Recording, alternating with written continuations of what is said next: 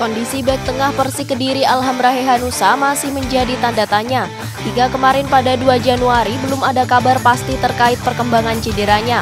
Namun manajemen berharap pemain tersebut dapat bergabung di latihan perdana.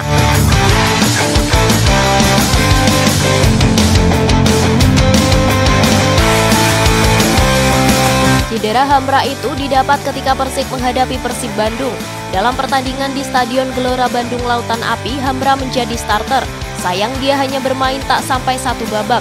Menit ke-33 harus ditarik keluar, itu setelah sang pemain berbenturan dengan pemain lawan.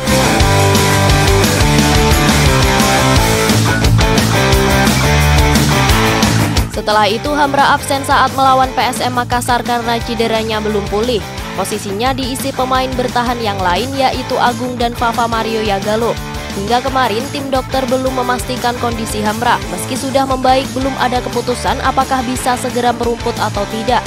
Meskipun jajaran pelatih berharap dia bisa dimainkan saat menghadapi Bali United.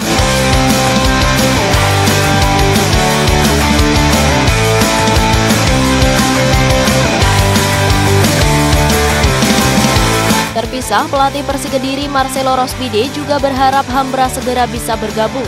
Satu bulan sebelum jeda berakhir, sang pelatih berharap cedera itu sudah sembuh agar bisa kembali membela Persik khususnya ketika menghadapi Bali United di Stadion Brawijaya.